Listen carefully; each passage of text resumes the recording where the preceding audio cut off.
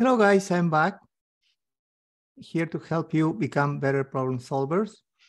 Let's do this problem together.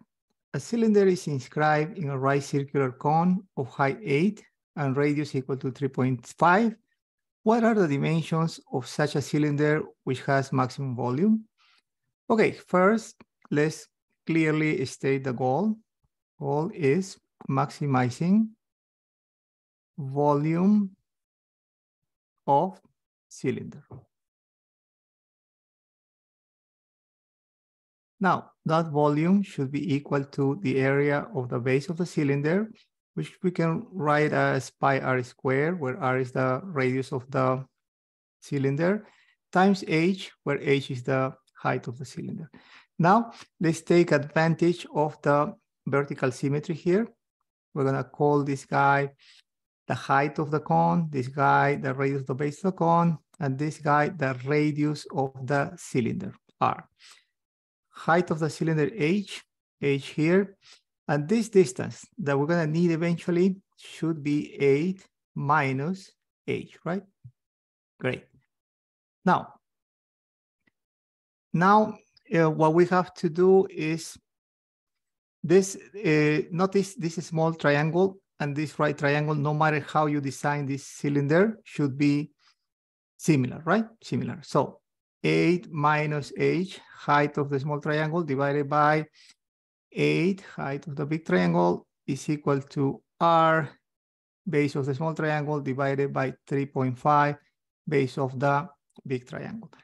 Cross multiplying, we should get a 28 minus 3.5 h, should be equal to A times r. Solving for h, solving for h, we should get h equal A minus 16 over 7 times r.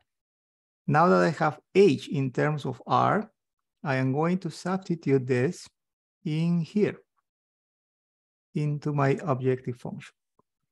All right, so I will get that v, the volume, should be equal to pi r squared times h, but h is 8 minus 16 over 7 times r. Multiplying, we will get that the volume is equal to a pi r squared minus, minus 16 pi over 7 times r cubed. Now, now we have to set the derivative of our volume function equal to zero and solve for our variable, which in this case is going to be R. That will give us a series candidate to maximize the volume of this cylinder. Okay, derivative then is gonna be two coming down multiplying eight, 16 pi R minus three coming down multiplying 16, 48 over seven pi R squared equal zero. Factoring out 16 pi r, we will get one here minus this guy into this guy, three over seven r equal zero. Setting each factor containing the variable equal to zero, we will get the following. From here, r equals zero, which clearly doesn't make sense, right? Because if R is zero, there is no cylinder, there is no volume. So we ignore this guy.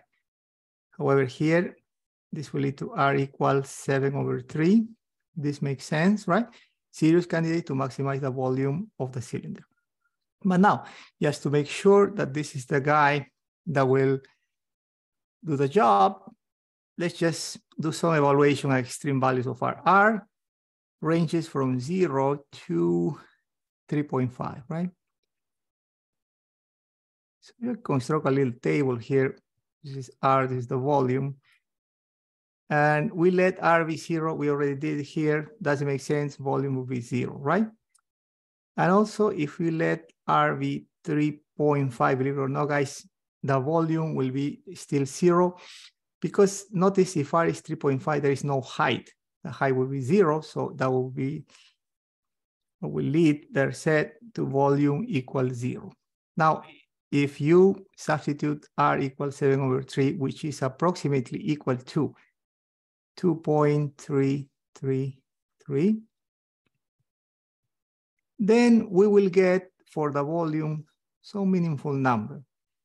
Substitute this value of R here into this volume function, you do the math, the calculation, you should get this 45.611, which is meaningful, right?